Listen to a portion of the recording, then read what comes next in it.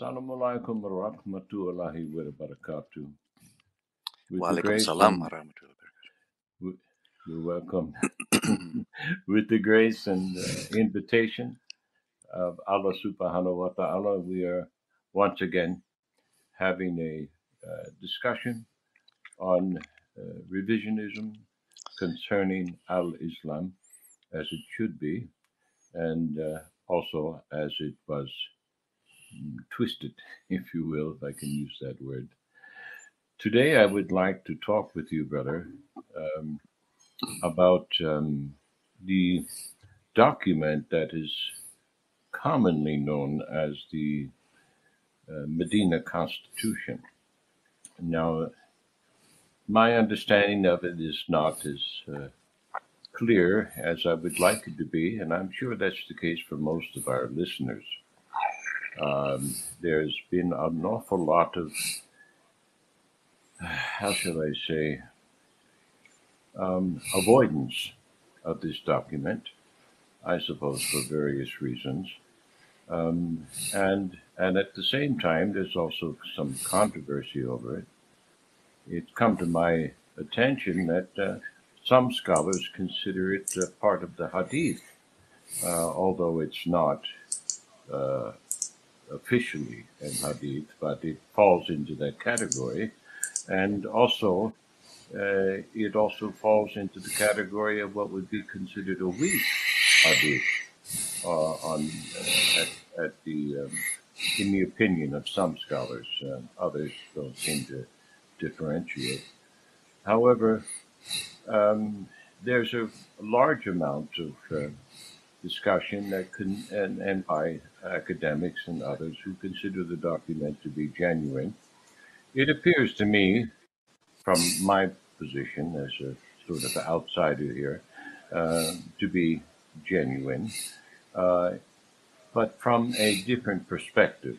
Uh, now, the perspective that I have is I'm outside looking in, and I'm looking in at this thing, and I read clause so and so, and I follow down all the way from beginning to end, and it seems to me to be a document that makes common sense. It's not something that seems to have any kind of an agenda.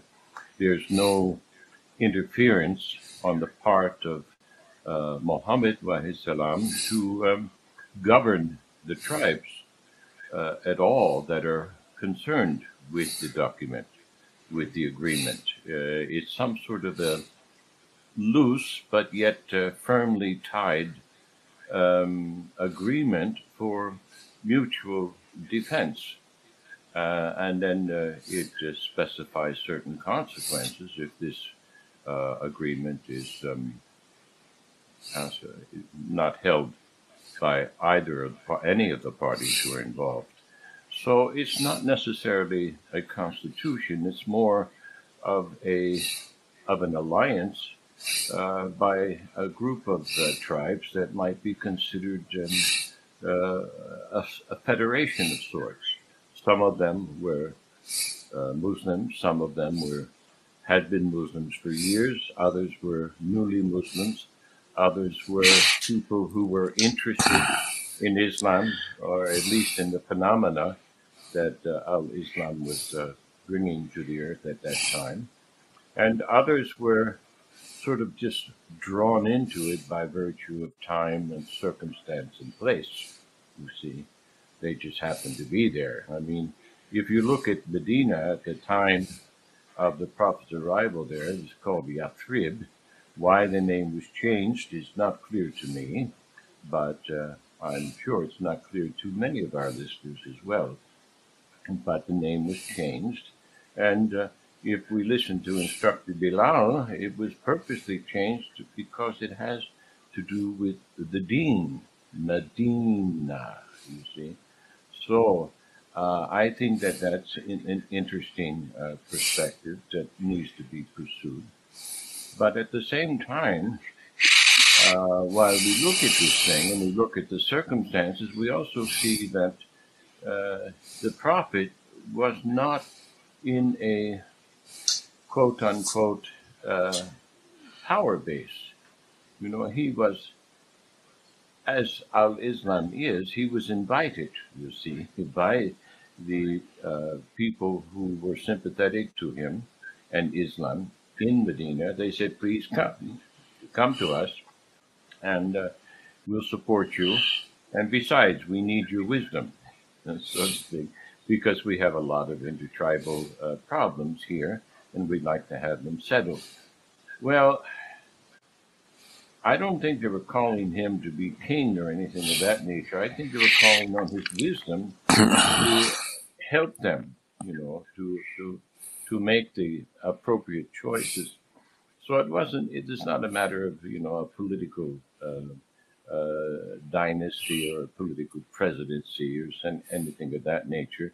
There was a group of people in Medina who were the minority. I mean, the Jews were not necessarily a minority there. And we're also talking about a group of people that were not large in number. I mean, there's, I, I suppose there's no way to really know how many people were living in Yathrib at the time, but uh, it seems to me that there, there were somewhere between 500 to 2,000 people involved. This is not a lot of people. So, although there are more than a dozen tribes or so mentioned in this document, we're we're not talking about large groups of differentiated uh, people. We're, these are not large groups; these were small groups, and uh, they were having their problems. The Jews were the dominant force in Yathrib. They were the ones. Uh, this off uh, uh, uh, tribe, whatever they were, they were the ones with the castle. They were the only ones had a castle there. They had a castle. This is not a a, a small matter in the middle of the desert, you know, where you don't have many uh, uh, many attributes and resources to call on. So um, they were threatened by inner and outer uh, forces. Inner meaning, look, the tribes didn't all get along even though they're in the same place. And this we can't compare our understanding of human relations and interpol- interpolitical, intertribal relations uh, today. We can't compare those to what was taking place a thousand, twelve hundred years ago. There's different circumstances, different mindsets, different customs, different laws.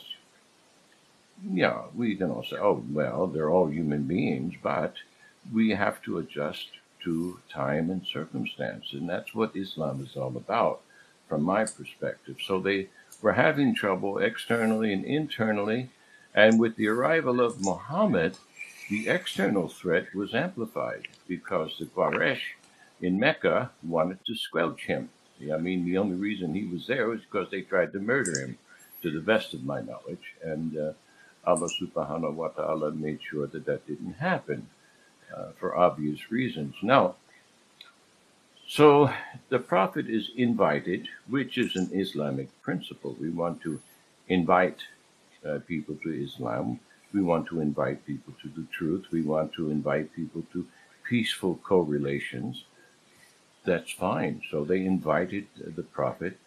Why? Well, because whoever was there must have had some confidence in his ability to solve their problems and perhaps to solve problems in a wider range of uh, considerations at the time. And they wanted to protect him. Well, that's a sort of a divine thing. I mean, you don't get invitations from strangers, you know, who want to protect you all that every day. This does just doesn't happen. So that's also an, uh, an aspect that happened by the grace of Allah subhanahu wa ta'ala. So the Prophet is invited. He gives his speech when he enters, and he gives certain uh, directives in this speech with respect to Islam and the kingship of Allah subhanahu wa ta'ala and uh, the dominion that's coming uh, by virtue of his presence there and that if they wish to maintain this dominion, they have to respect the king of the universe and obey his laws. And as long as they do that, it's like the you know Moses telling the Israelites, "You obey these Ten Commandments, you're going to keep your dominion." You see, well, Muhammad said pretty much the same thing when he entered Medina.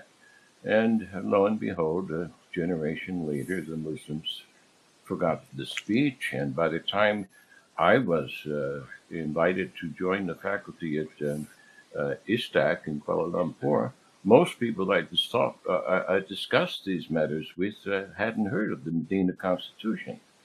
You know, there were a few, but most of the students didn't know about it. Now you have to ask the question: Well, why is that the case? If the document is in fact genuine, why was it avoided in academic discussions?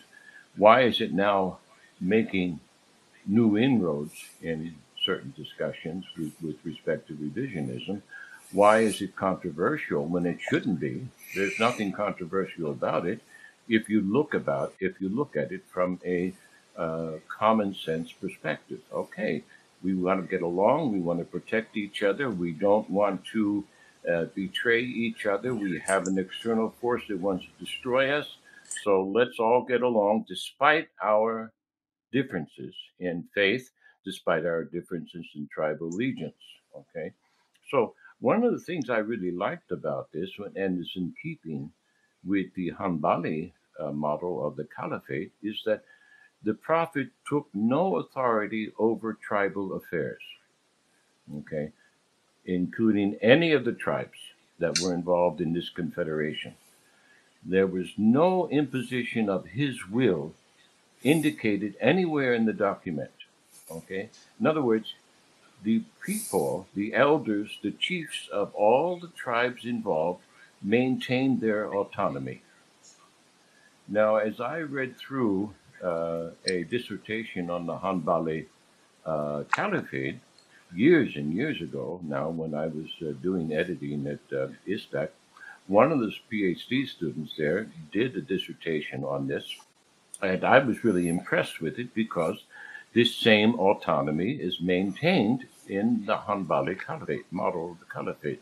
In other words, the Caliph did not enter into, or his representations, representatives did not enter into tribal affairs.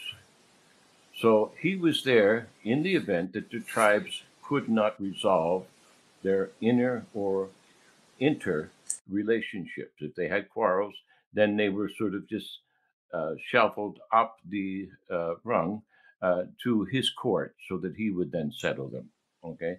But he did not impose his will on the tribal chiefs. They maintained local autonomy, okay, according to the Hanbali uh, Caliphate. And that's what I found interesting in the Medina Constitution the same model, the same principle. I am here to maintain your order in the event of mutual defense. Ah, now I like this because that's the same principle upon which the United States of America was founded. The central government was there only for the sake of mutual defense of all the indiv- individual states. The states were to, to maintain their own autonomy. So here's three elements, you see, where this principle of uh, local autonomy was supposed to be preserved, and it wasn't. You see, it was only preserved for a limited time uh, with the Medina Constitution, to the best of my knowledge. So, um, with that having been said, brother, I invite you to uh, share with us your perspective on this document. Is it genuine? Where does it fit if it's part of the Hadith literature? And where does it fit with respect to the models that we've been given and haven't been given with respect to the genuine or authentic uh, caliphate uh, or governance of Al Islam as a political institution in the earth. Inshallah. Yes, uh, thank you, uh, Brother uh, Omar, uh, for this opportunity to share some thoughts with you and the viewers on this, uh, I think, very important document. I might add or begin by saying that, uh, first of all, um,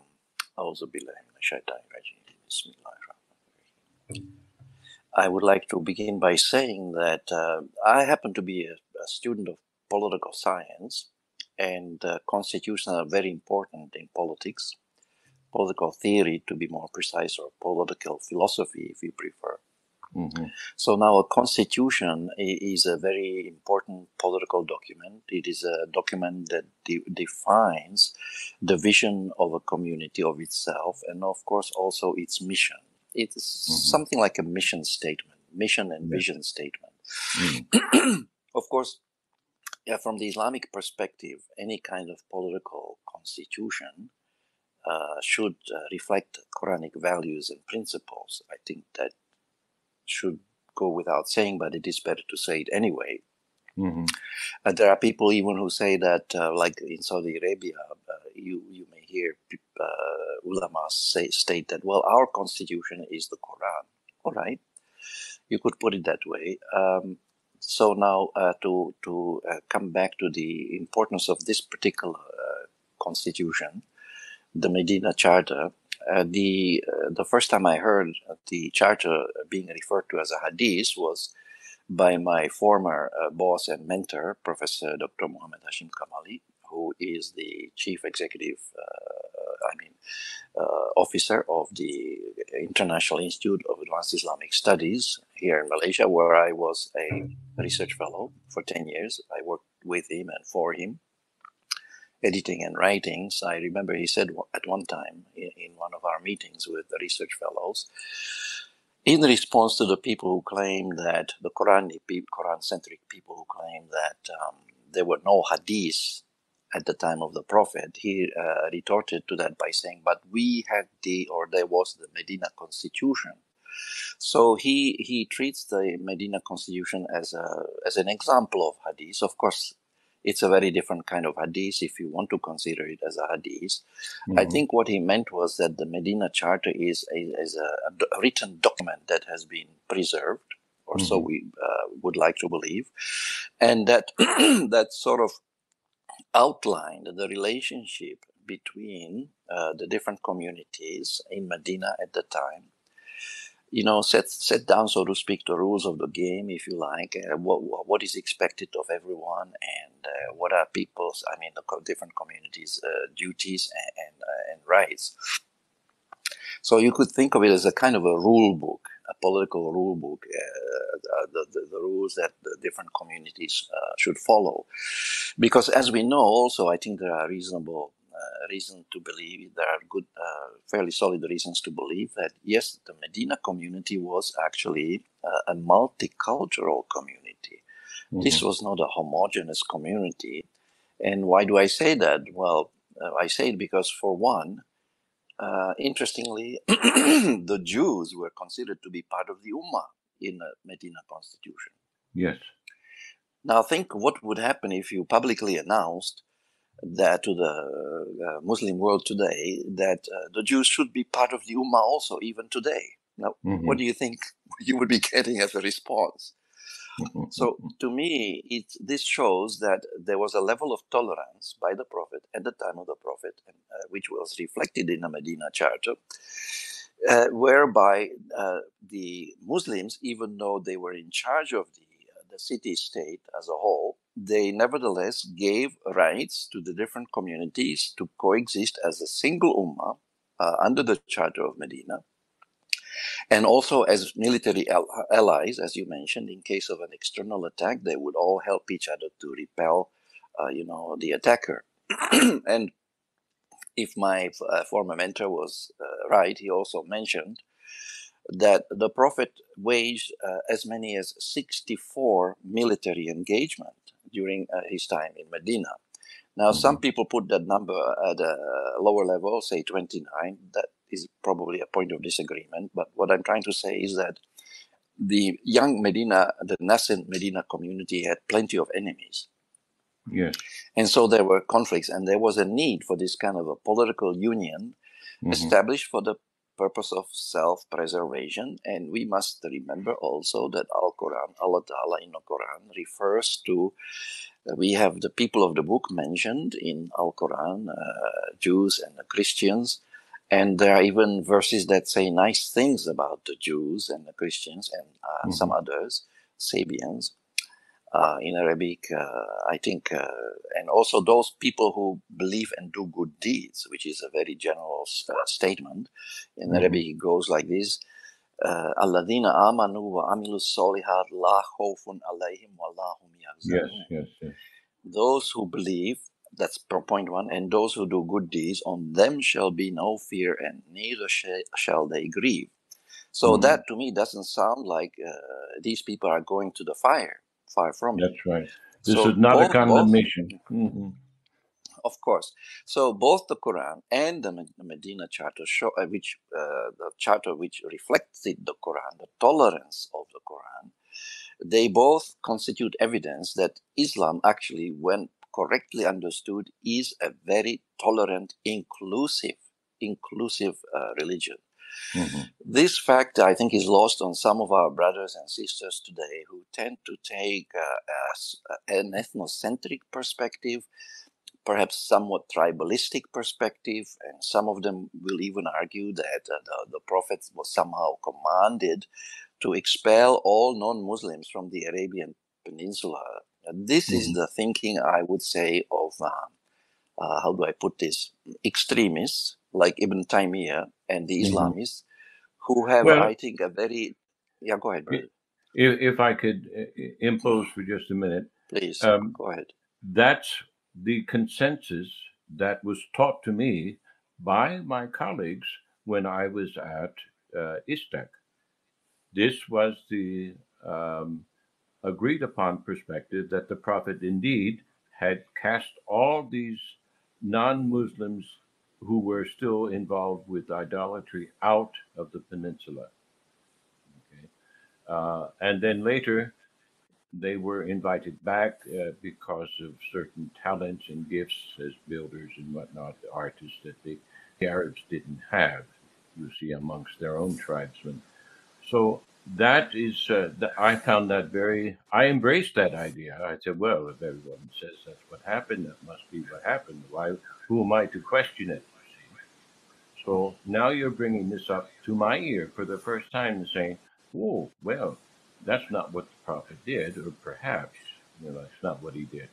And but Ibn Taymiyyah said he did do this. So we know well there's another questionable source in the minds of some of us who are studying these matters. In the minds of some others, Ibn Taymiyyah is like the Pope. You see, he uh, is infallible. so. Um, what what the true perspective is, I'm all ears. You see, uh, as well as I'm sure others of our audience and uh, students and fellows and ladies. yeah, so I think what we have witnessed here uh, is what Muhammad Shahrur uh, referred to as a uh, in his book called Quran Morality and Critical Reason, available mm. online, free in PDF format, published in 2007. It was a big success in Damascus, Syria, when it was first published. It went through many reprints, but of course, it also attracted the ire of at least 22 uh, Sunni ulama who wrote critiques trying to rebut the, the arguments that Shahrur mm-hmm. makes in his book. Mm-hmm. But anyway, what he said was that what happened in Islamic intellectual history was uh, what he called uh, the, the uh, let me put it this way. I think how he put it was that uh, as a result of the so-called, I'm paraphrasing, but pretty close to the original, as a result of the so-called uh, tafsir or exegesis of the traditional ulama, Islam has lost its universality. Ah. In other words, the universal teaching of the of Islam was lost because what they brought into the uh, their tafsir were various tribal perspectives, uh, ethnocentric leanings. Uh, we find it, for example, even in Ibn Kathir's uh, uh, writing on uh, abrogation. He states, break, I mean, in complete defiance of what our Quran teaches on a subject, that the Quran abrogated the previous revelations. Now, mm-hmm. I cannot believe that. He, where, how did he bring himself to write such a statement which flies so blatantly and directly against what the Quran teaches on a subject? Mm-hmm. I have, uh, was uh, having these discussions with my students, and I I couldn't, uh, you know, I had to write a rebuttal, so to speak, of my own of this view. Mm-hmm. And that's how my paper on abrogation began. Later, it turned into a book, and now it's already in the public domain. Does the final testament abrogate the Old and New Testaments? And I give the, the answer to it uh, that the answer is no. And I have 20 verses in the Quran to prove uh, prove the point. Mm-hmm. So I, I, fear that so-called traditional tafsir, such as that of uh, Ibn uh, Kathir, and even uh, uh you know is and writing of Ibn Taymiyyah, or for example on Jihad al-Talab, I, I fear that to me at least both of these and others who think along the same lines are basically very unreliable and in fact misleading. Mm-hmm. So they they have brought uh, they have uh, uh, like uh, I don't know where do I begin. Perhaps it's best to go to the uh, Medina Charter, back to the Charter. So yes, the the Charter, the, what is the significance of the Charter for us? It, it gives us a, a model, if because we have plenty of people who are calling for the so-called Islamic State. Mm-hmm. And uh, their idea of Islamic State is that everything has to be the same. It has to be homogeneous. That there is no room for a plurality of ethnic groups. Mm-hmm. So I even remember one time I uh, said in a meeting at one of the think tanks here, not the one I was working for, but a different one, mm-hmm. that something to the effect, "What's wrong with multiculturalism?" You know, mm-hmm. and uh, one of the local people spoke up after me and said, "We don't want that here." You know, mm-hmm. uh, in other words, even though the country basically contains, Malaysia has at least three, uh, you know, major groups the Malays, the Chinese, and the Indians, and a sprinkling of expats. So he mm-hmm. was very strongly against multiculturalism, even though this multi uh, recognition of, of the multiplicity, multiplicity of uh, nations and tribes is recognized by none other than Allah Ta'ala himself in Surah Hujurat, where mm-hmm. he says, uh, We have made you into nations and tribes so that you may know one another, not that you may hate one another.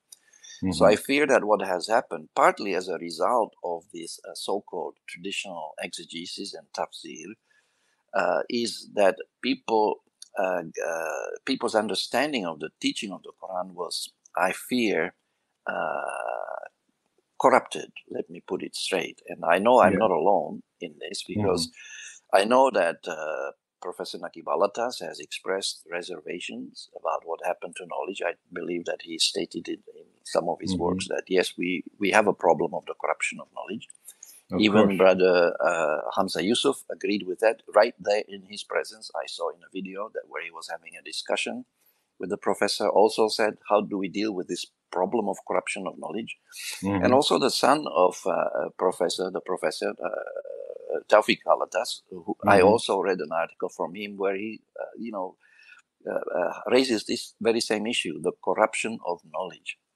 So I fear to say that our traditional uh, tafsir, our traditional exegesis, rather than helping us to gain a better understanding of the Quran, actually achieved more or less the reverse.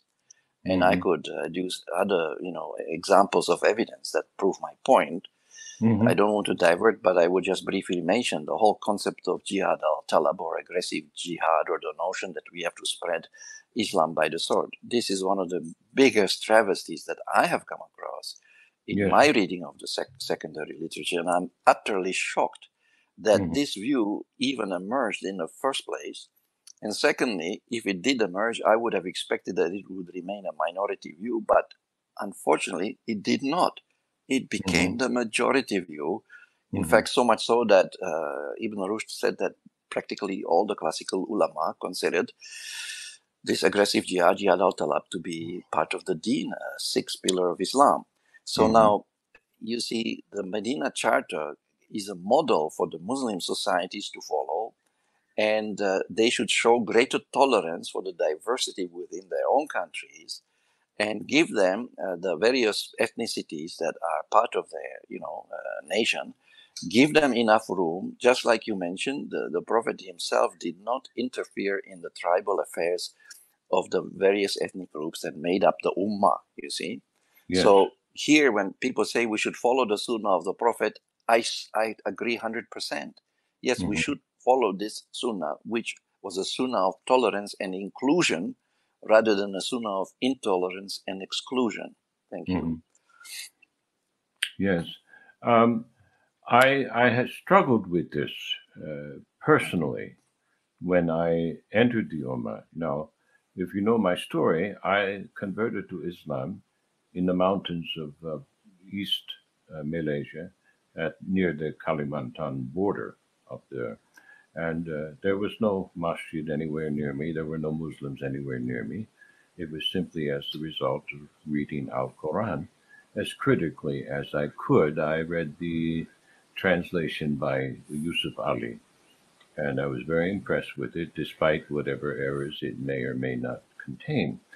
Uh, the Quran comes forth, even in mistranslation, it still shines forth with the truth. So I became a Muslim. I confess whatever you might consider to be the Shahada in the middle of the night uh, on Christmas. Um, uh, I forget what year, no, 2005, I think it was. And then I entered the Ummah about a year later, all right, because I could no longer stay. They changed the immigration laws, and my Christian uh, wife's family uh, exiled me and whatnot. So I went to West Malaysia and I entered the Ummah in, uh, in, in, all its inglorious uh, being. And what I met there was not what I read in the Quran. And I was firmly uh, convinced that had I been initially influenced by the Ummah in Malaysia, I never would have become a Muslim. Now, why do I say this? I say this because everyone was interested in imposing their ideas on my personal religious practice. So that meant that they were constantly invading my personal space. And I consider this tyranny. And of course, I'm not allowed to object to it because who, what do I know? I'm just a baby Muslim here. It's kind of like the Christian saying, "Oh, he's just a baby Christian. What does he know?" Oh, say, well, I, you know, I've been around the world already. I was 55 years old. I had 25 years of medical practice under my belt, which is not a small thing to consider uh, when you're dealing with human nature, especially if you're an emergency room doctor like I was in inner cities. You see, so I had been blooded, I had been vetted by Allah subhanahu wa ta'ala, and then suddenly I become a Muslim and I'm treated as if I'm a know nothing child again. You see, that later. Well, you got to do this, you got to do that, you got to do the next thing, you got to do this, this, this, this, this. You got to say Alhamdulillah thirty thousand times. You got to. I, I said, where's all this coming from? When, when I read the Al Quran and what I could of uh, the Sirah, I didn't see any of that. Matter of fact, I saw the Prophet meeting one young man who uh, came to him and said, uh, "You know, Muhammad, I, uh, I, I can't do all the things that you do. I, you know, you get up in the middle of the night, you do this, you do the next thing." And he said, "I, I can't do that." And was the prophet angry with him? Did, did the prophet turn around and speak to him severely? No, no, no. He said, do the best you can of whatever you do. You see? And there's another reference to another fellow who uh, uh, Muhammad said, Oh, Allah really loves so and so. And one of the companions got upset about that because so and so wasn't a particularly pious fellow. And Muhammad said, Well, you go and live with him for a few days. And so he did. Then he came back a week later and said, You know, I'm still not impressed. This guy doesn't do this, he doesn't do that, he doesn't do the next thing. But Muhammad said, Shh, what he does do, he does faithfully and with the best of intentions. And so when I read that as I was reviewing the Sirah, I said, Hey, why are all these people trying to change me into them? You see? You see, this is uh, this is what we're talking about when we're talking about uh, pluralism. Okay, I can be a Muslim, and I can retain the individual characteristics that Allah had blessed me with and brought me to maturity with. You see, I don't have to be like you. I don't have to dress like you. I don't have to talk like you, even. You see? So then we have this uh, intermediary class developed, you see, I saw over the periods of time. And I said, oh my gosh, these people are just like the Christian priesthood. They're no different than the Catholic priesthood or the Orthodox priesthood or the new Protestant priesthood with this pastoral uh, uh, mentality. You know, uh, you, you have to have a leader, but you don't have to have this sort of communist idea that everybody has to dress in the same uniform and speak the same way and salute in the same manner. You see? And that's what I saw was happening. And I saw so much fitna as a result of it because the individual cannot express themselves under such a an imposition. The fitra, which is both the same but yet different in each of us, because it cannot grow. If you're going to force it into some sort of mold that Allah did not mold, but man molded, you see, then that thing that Allah wants to develop, that person, that personality, those gifts, they cannot develop, and they don't develop. And so when I conf- was confronted with this lack of pluralism, I was shocked. I was amazed. And uh, eventually, you know, I, I, I, I left especially after five years on afterward 9-11 i'm still attending convocations and the muslims are up on the stage still blaming muslims for it. And then i saw 10 years later however many years later it was they're in, they're inviting people to receive the vaccine the covid vaccine. I'm saying well these people are not guided. These are people are considered to be their imams their uh, shura. And I said, How uninformed are they? And why is this happening? Well, it's because of a certain degree of conformity to this traditional lie. Because once you start following a lie, all the other lies seep in. And then justice cannot be manifest because no one knows the truth of the matter. And if you don't know the truth, how can you defend it? You see? So, therefore, I came to the conclusion that ignorance serves evil. And here's a perfect example of it, you see, in the Muslim, so called Muslim Ummah. And so, uh, with that being said, brother, I uh, want us to return to the uh, Medina Constitution and see how it is that the Prophet molded this initial political relationship so that it, it would reflect fitra, that it would reflect the, the, the, the, purpose of a federation of nations, a federation of tribes, a federation of peoples, rather than a group of people all behaving like communist China. Or Nazi Germany, you might add. Or Nazi Germany. Yeah, it's the same principle. Yeah. Mm-hmm. Exactly. Yeah. So yeah, this I think the key is the recognition of uh, diversity, you know, as actually an asset rather than a liability. And this is what some of our Muslim brothers and sisters, uh, I think, fail to realize that to have a diverse community, uh, one ummah, where there's room even for non-Muslims, uh, and uh, they are because, as we know, there is no compulsion in religion.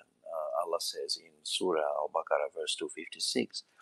But for some reason, we these some of the ulama come along and they try to play the policeman and then try to force people to this and that, and they invent so many crimes. According to Shahrur, uh, there are only four crimes uh, in the Quran, but they're like murders, uh, stealing, adultery, and false accusation. But when you look at the works of the ulama, they come up with a list of about a hundred crimes, uh, criminal offenses. I think this is very, very shocking, very tragic, and it uh, turns uh, being a Muslim into a burden.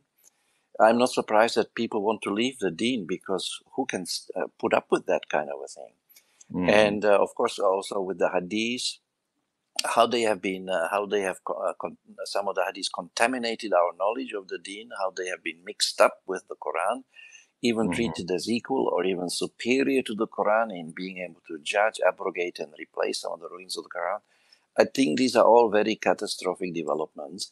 But uh, the the point about the political document is that I was even I gave a talk uh, my first year at the Islamic Science University mm-hmm. of Malaysia. I was asked to give a talk on uh, political and religious tolerance in Islam, mm-hmm. and I did that. And then I turned my uh, little talk into a. I mean, I expanded my paper. Now it's published. In fact, um, uh, I have now published it under the title of pluralism, actually.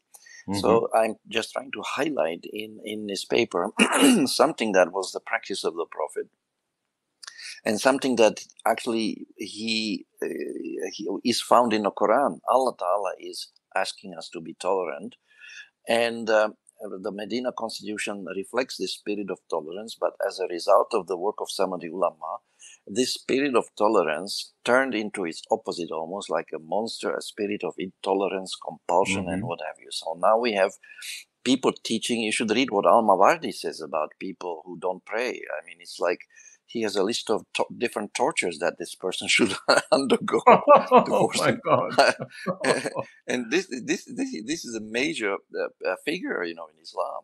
Uh-huh. Uh, you know, you have already, we have already uh, touched on what Imam Al Ghazali says about music, the sound of musical instruments coming out of a house uh, go into the house and break the musical instruments. I mean, mm-hmm. Uh, these are not, uh, you know, uh, as, uh, as, it were, minor scholars. These are the so-called giants of Islamic uh, intellectual history. Mm-hmm. Where did these get these ideas that all this compulsion is is, is valid under under the Sharia as we find it in the Quran? You see, mm-hmm. so the the we need to go back to the Medina Constitution to to uh, recover the spirit of tolerance of um, Islamic mm-hmm. polity. I don't think it is wrong for a political community to be, uh, you know, uh, designated as an Islamic political community in a sense that Islam is the official religion of the state, as is the case in Malaysia. But at the same time, the ethnic minorities uh, have the right to as long as they do so within the law, have the right to pursue their ways of life undisturbed. And that actually does reflect to some extent the, the uh, Medina constitution. But mm-hmm. there are always tendencies, you will find chauvinistic people almost in every community who want to go beyond the limits and be, begin enforcing things on people and, and even you know uh, basically we have the danger of despotism arising and tyranny arising and injustice mm-hmm. arising out of this immoderate behavior of some of the people who some of the persons who uh, have i think a limited grasp of the teaching of the quran and mm-hmm. they simply want to force people left right and center and like we even have laws about close proximity and what have you and other others and uh, be fined. And, and, and uh, of course, Al Azhar University still teaches that people who do not attend the congregational prayers have to be killed. Where does this extremism come from? I'm totally shocked mm-hmm. because I don't see any of it in the Quran and I don't see any of it in in the Medina constitution either. So no. we Muslims need to familiarize ourselves with our own literature, uh, not uh, the Quran, yes, first and foremost, because we have a huge problem of Quran illiteracy. We know that already. People recite the Quran without knowing what they are saying, just like a, a tape recorder, basically. Mm-hmm. And then we need to familiarize ourselves also with documents like uh, the Medina Constitution, which actually gives us the, the way of the Prophet.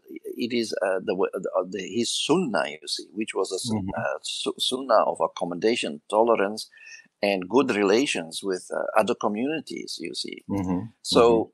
We need to counter these tendencies to towards intolerance, which I think come from two sources: one, problematic hadith, and two, uh, the work of some of the ulama. You know, uh, like mm-hmm. I mentioned already, Ibn Taymiyyah. We can throw in uh, Said Qutb. We can also put in uh, Maududi and anyone else who uh, who has these, uh, you know, distorted, corrupted understanding. You see mm-hmm. of what the Book of Allah actually is teaching us.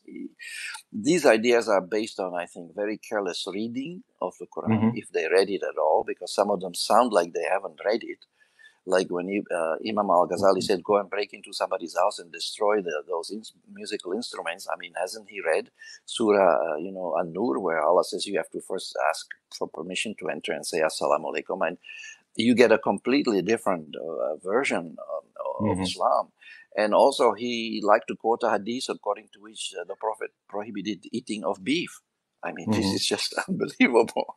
But anyway, so to come back to the main point, I think part, one reason why Islam is acquiring a, a, a poor reputation is because of these extreme misinterpretations of the deen that are being, mm-hmm. uh, you know, bandied about by a certain, uh, you know, uh, uh, groups or teachers or preachers that actually, in fact, don't have a very good understanding of what the Quran says, and uh, with their extremist uh, statements, they are actually giving a bad reputation to to everyone mm-hmm. who is a mm-hmm. Muslim and they have to be stopped. And it's we, it is us, the Muslims, that have to take action against these I would say, wavered individuals. I mean, you get, mm-hmm. a, for example, a fatwa from a leading Muslim cleric that it's okay to commit a suicide bombing. My God, mm-hmm. what is that? And who mm-hmm. is he to make halal something that Allah made haram? I mean, he mm-hmm. took upon himself the role of being God by saying that, well, Allah prohibited taking life without just cause, but I'm allowing you to do it. So is he yes. a higher authority than Allah? And of mm-hmm. course, later he withdrew his, uh, he recanted and uh, uh, withdrew his uh, really sickening fatwa, but uh, how much damage has already been done? The damage was and done. It was, of course, and it's still being done. You see. Yes. So these people have been taught that a Muslim can take the law into the, his or her own hands. That's again based on the hadith. So th- there's a lot of work ahead of us. People have lost the ability to differentiate between the hadith and the Quran. They treat them as if they are interchangeable. There's even a statement uh, by Ibn Baz on his website that the Sunnah is a part of the Quran, part of the Quran. Mm-hmm. And um, mm-hmm. similar statements, uh, there are some hadiths according to which the Prophet dispatched the death squad to kill some pregnant poetess in her sleep because uh, she wrote some unflattering poetry about him. Mm-hmm. Now, what, what kind of hadith is that? To me, this is a mm-hmm. very slanderous hadith. It is actually offensive and, mm-hmm. and makes the Prophet look bad. You see, yes, how yes, how can yes, such a hadith have been ever be included in a hadith book? You know, mm-hmm. Uh, I remember the the time I just, I stopped reading Bukhari was when I, when I came across a hadith according to which the Prophet said he wanted to burn down somebody's house because he saw the person inside was not getting ready to go to Friday prayer. I said, "What? Excuse me? What? Burn down somebody's house? Yeah, there's a oh hadith like God. that in Bukhari." I well, know. he might as he might as well be a member of the Ku Klux Klan then for God's exactly, sake. exactly, or a lynch mob or whatever. Yes, you know, I mean, yes, I was yes. shocked. I was shocked. I mean, here's oh. the here's the person who came to teach us the difference between right and wrong by Allah's leave, uh, to teach us what is lawful and what is unlawful from the Book of Allah. And now mm. I'm supposed to believe that he was expressing a, a, desire to commit a crime because last time I checked, burning down somebody's house is a crime. Yeah, you know, uh, destruction of property, and, and, and so I was shocked. So that was the day I, I, I stopped reading Bukhari and I never went back. I think Bukhari, quite frankly, is a very unreliable source of the mm. deen. Mm. You don't find any books, for example, in Bukhari on uh, on justice, ethics, uh, you know, or uh, rationality or freedom. It's all missing. This is all missing from, and we are supposed to take our guidance from this book. This, uh, mm-hmm. this is this book is very impoverished compared to the.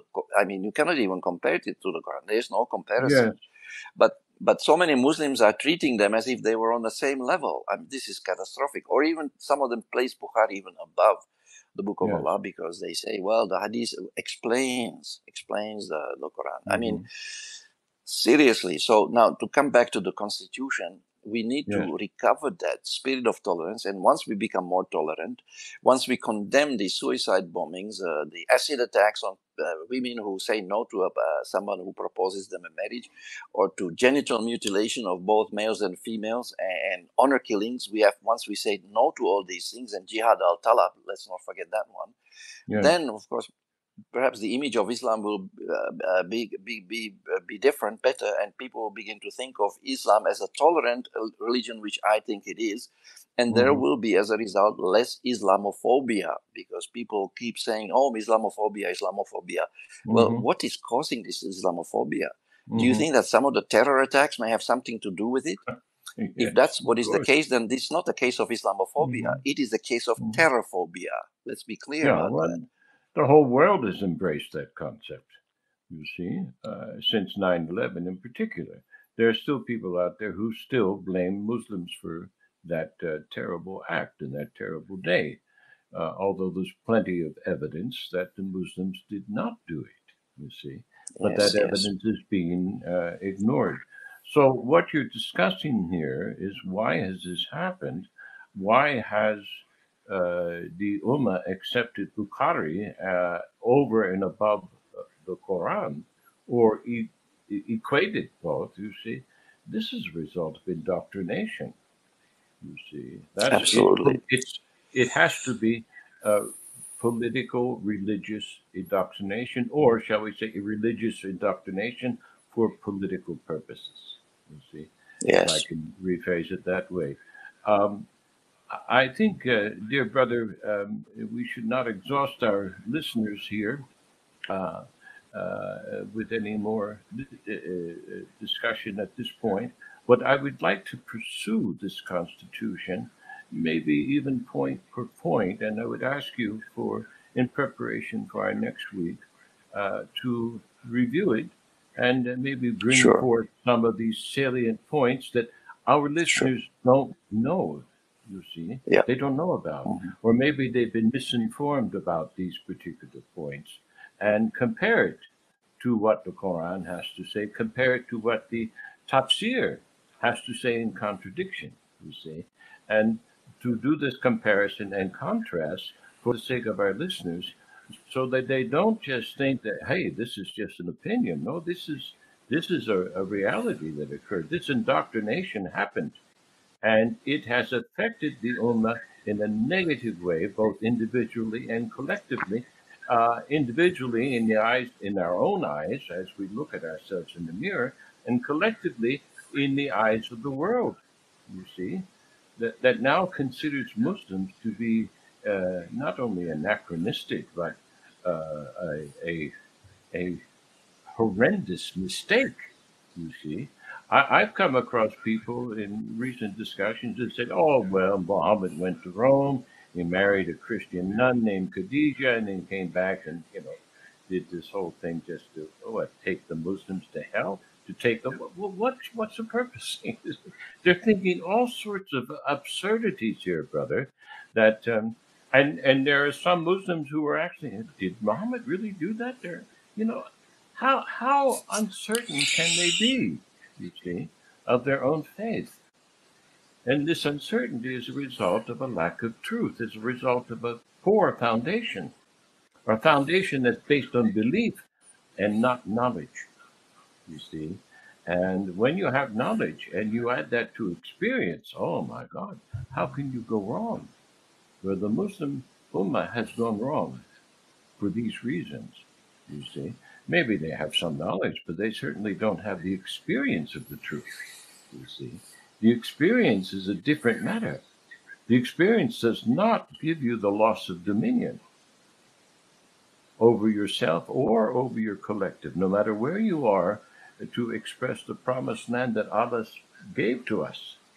You see, through our unity, through our salat with Him, because that's what salat is the joining. You see, the joining of heaven and earth, a connection. It's a connection. If you don't have this connection, you can't express the truth. If you don't, if you're not on a solid foundation, you can't express the truth. You can't serve it. And if Allah is the truth and you're ignorant of the truth, how can you serve Him? It's not possible. You can serve the exact opposite, or somewhere that's on a kind of a neutral ground, someplace where you know you're just following what's left of your fitra, bits and pieces, but the whole thing is not brought together. Islam is Tawheed.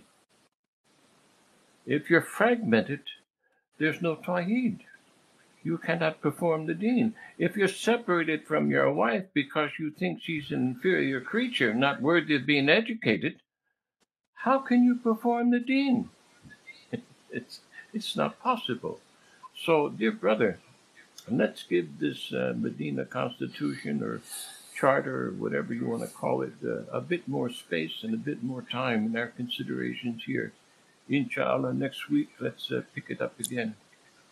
Inshallah. Yeah, let's do that. That's a good idea. right. Good idea. then, with that having been said and confirmed and agreed on, I will say wassalamu alaikum wa rahmatullahi wa barakatuh. And walaikum salam.